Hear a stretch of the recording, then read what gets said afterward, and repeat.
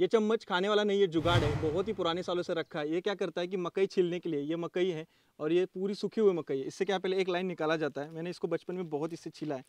ये देखिए, एक लाइन निकाल दी। एक लाइन निकालने के बाद इसको बस सपोर्ट लेके ऐसे छिलना पड़ता है ऊपर से। बहुत ही तेज़ी से छिला जाता है, ये देखिए।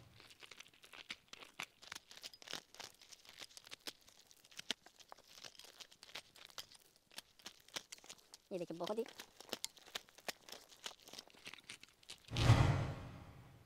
क्या आपने कभी ऐसा चम्मच देखा है जो कि मकई छिलता है? तो कमेंट में करके ज़रूर बताएगा। इस वीडियो को लाइक कीजिए, शेयर कीजिए, चैनल को सब्सक्राइब ज़रूर कीजिएगा।